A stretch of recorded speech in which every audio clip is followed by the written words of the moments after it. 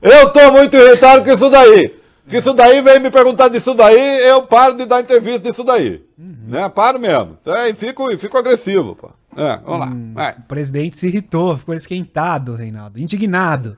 Ao ser questionado sobre a decisão do Superior Tribunal de Justiça, ele esteve no Acre para anunciar medidas de auxílio ao Estado que sofre com a cheia dos rios nas últimas semanas. Ao ser questionado sobre o Olha assunto... só parênteses, o Acre está sofrendo com tudo, é. com todas as coisas Sim. do mundo se juntar de ruim no Acre, inclusive incompetência, só para deixar claro. Vai lá. Sim, depois de ser questionado sobre o assunto, o Bolsonaro encerrou a conversa com os jornalistas sem responder ao questionamento e a gente separou aqui o trecho. Bom dia a todos. Minha pergunta para o presidente Bolsonaro. Presidente, qual a avaliação que o senhor fez da decisão do STJ ontem de derrubar a quebra dos sigilos fiscais? Acabou a entrevista. Pronto. Obrigado, presidente. Agradecemos a participação de todos. Está encerrada esta coletiva de imprensa.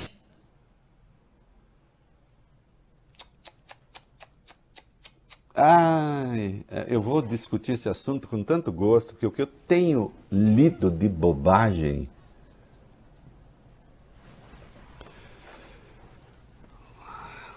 Orelha, cotovelo e opinião é a coisa mais fácil do mundo. E a lei, para saber o que ela diz e se ater aos fatos, é que é o problema. Né? Ah, o Flávio se manifestou, também disse que ele está aliviado, sempre estive à disposição da justiça, entreguei minhas declarações de imposto de renda, etc. O Vacef, aquele, uhum. né, o Vacef resolveu pegar uma carona agora. Não, nunca estive afastado, não, hein? Olha, um pouco assim. Isso se deve também à minha militância como advogado. Estou junto aí, amigão. Tá bom? Fique claro, hein? Sou amigão. Vamos ouvir quem entende? Vamos lá. Sete. Alguns dos maiores juristas do país estão dizendo rigorosamente o que você, Reinaldo, afirmou ontem aqui sobre fazer uma nova investigação. Vamos ver e ouvir o que você disse ontem. Isso. É. Agora presta atenção aqui. Calma! Calma! Isso quer dizer que não vai ser mais investigado? Não. Volta para o Ministério Público. E o Ministério Público que entre na Justiça pedindo a quebra do sigilo. Que se volte à origem. Vai voltar à origem. Se peça a quebra do sigilo. Se façam os procedimentos dentro das regras do jogo. É isso. Tá aí. O que, que nós temos? Vamos lá, vai. Vamos continuar.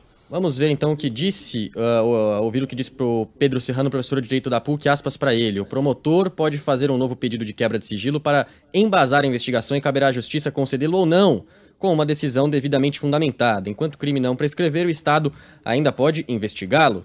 Agora, Armando Mesquita Neto, especialista em direito penal econômico, disse o seguinte: a decisão do STJ não vai ser o suficiente para impedir a continuidade das investigações, já que os fatos e indícios se mantêm, no máximo levará a um atraso não é uma nulidade que impede o julgamento do caso adiante. Um novo pedido do MP partirá daquilo que se tornou conhecido na quebra anterior. Inevitavelmente será mais uh, objetivo e focará em pessoas e empresas determinantes para as conclusões das investigações. Olha aqui. Todo mundo sabe o que eu penso do bolsonarismo, do Bolsonaro, dos filhos dele, mas é, eu não comecei a pensar isso agora, nem depois que ele brigou com o Moro. Eu sempre pensei. Eu sempre pensei. E eu sempre disse que seria um desastre. E está sendo. Que era autoritário. E é. Não será por causa disso que vai haver um vício processual envolvendo um filho dele e eu vou falar assim: dane-se, não é problema meu. Eu sempre disse que eles, que eles eram horríveis.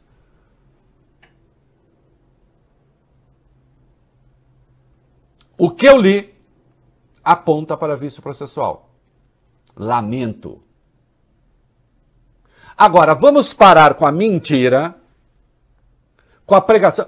Eu acho muito interessante que jornalistas, quando tem que ouvir alguém para falar sobre direito, é assim na, Vaza Jato, na, na Lava Jato, é assim com Flávio. Ah, vai ouvir os investigadores.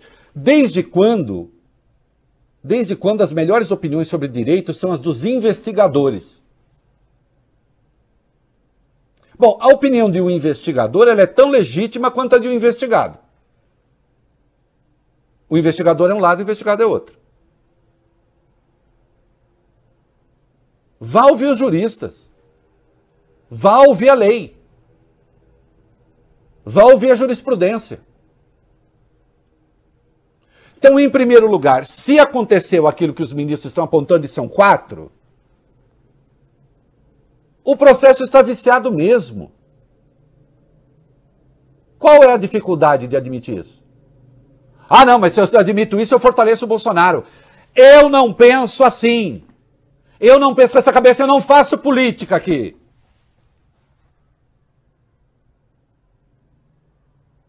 Eu comprei briga muito séria lá atrás por causa do negócio do Lula. E desculpem, para bater no PT eu tenho PHD. Eu não vou condescender com ilegalidade. Agora, é mentira, é mentira.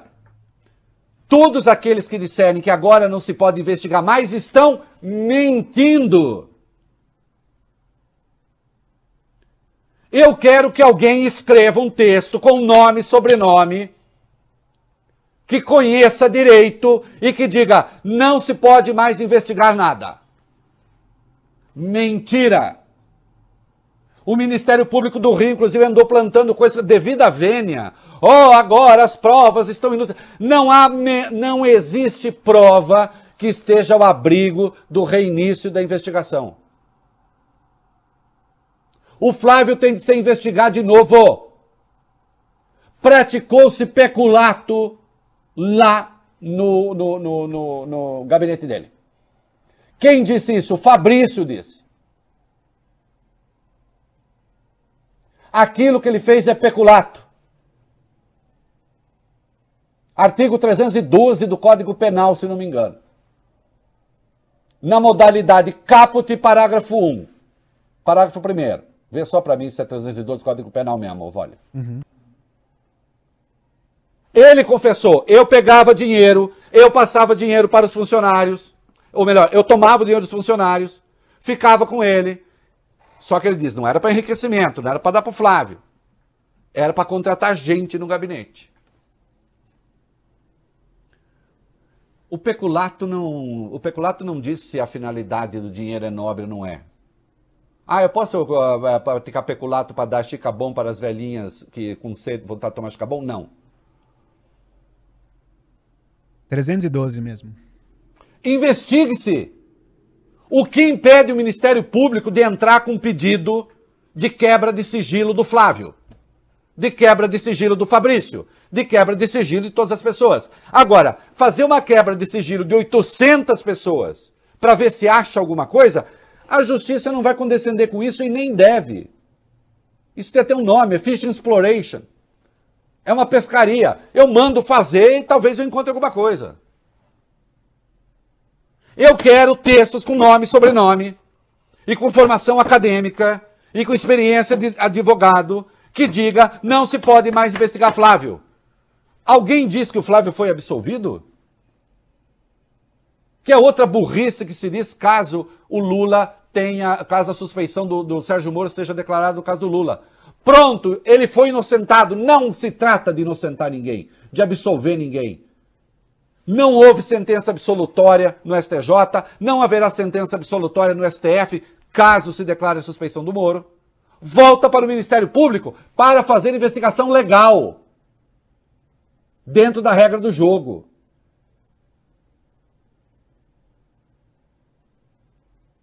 Olha aqui, esse ataque à justiça generalizado, estúpido, mal criado, burro, desinformado, serviu para eleger Bolsonaro. O que, que, é? Vai iniciar uma nova onda de ataque para ver se elege, se elege o Sérgio Moro? Eu diria que não vai dar tempo.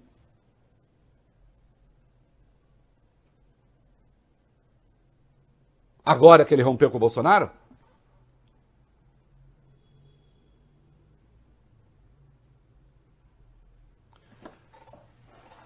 Mas, eu disse aqui, eu disse aqui, que tudo que se sabe de Flávio e Fabrício enseja nova investigação, certo? Não é isso? Uhum. Os maiores juristas do país dizem isso e duvido que haja um juiz, se houver, pode ligar para cá e me diz com base em que dado. Pode se fazer investigação. O Ministério Público tem em mãos dados para pedir para fazer investigação. Só se o juiz recusar. Mas o dado existe. Assim como, e a gente conhece isso segundo a STJ em razão de provas ilegais. Mas agora nós conhecemos. Agora nós conhecemos.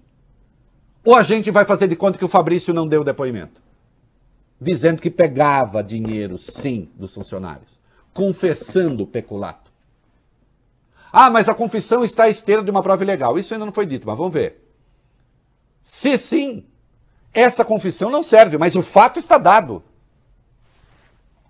Dois juristas aqui enormes estão falando isso. Como eu falei aqui. A, veio a público por meio de uma prova então considerada ilícita, mas eu conheço o fato. Ah, queridos, é a mesma coisa com o hackeamento. Sim, mesma coisa. Não, não se vai poder responsabilizar Sérgio Moro, procuradores, com o material que foi hackeado. Esqueçam. É prova ilegal. Quem queria usar isso, prova ilegal, era o Deltan. Eu sempre fui contra. Mas agora que sabemos o que sabemos, pode-se abrir uma investigação autônoma. É simples assim. Aí eu vi hoje um troço, ah, e os celulares que foram usados não poderão mais. Onde está escrito isso? Onde está escrito isso? No Brasil, um crime pode ser investigado 800 vezes enquanto não prescrever. Ponto final. Prescreveu, prescreveu. Não prescreveu, pode ser investigado. Há países em que não pode. Não pode haver o que se chama o bis in na investigação. Dois duas investigações de um mesmo fato. O que não pode no Brasil é duas ao mesmo tempo, né? Porque aí também já seria coisa de, de maluco. Mas investiga. Pode se investigar de novo. Havendo elementos para isso? E os elementos estão dados? Olha, querem achincalhar a justiça, querem jogar zerda na justiça? Façam, mas pelo menos com rigor técnico. Com rigor técnico. Eu quero saber quem são os juristas que estão endossando essa posição de que agora não se pode investigar mais nada. Quem são? Nem a defesa do Flávio deve estar falando isso.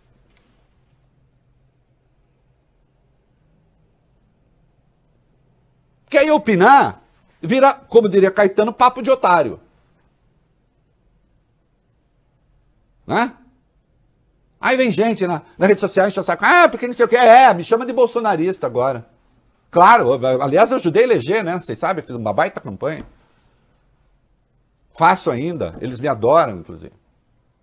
Cada vez que eu venho aqui desmonto até a, a, a PEC deles, eles ficam me aplaudindo assim. Oh, Reinaldo, obrigado. Meu negócio é devido ao processo legal. Não me importa para quem.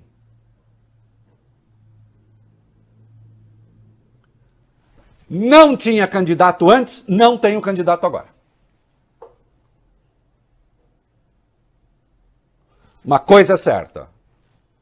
Não tenho candidato, mas jamais será um candidato fascistoide. Ou alguém que vá pregar a revolução comunista. Também não. Agora é lei. Ou estamos com a lei ou não. Vamos fazer um. Eu topo, inclusive, fazer um debate de juristas. Vamos fazer. Apareçam aqueles que digam que Flávio não pode ser mais. Mas só que apareçam, né? Onde é que estão? Ouvir papo de investigador em off? Aí, desculpa, é só uma tentativa de desqualificar a justiça.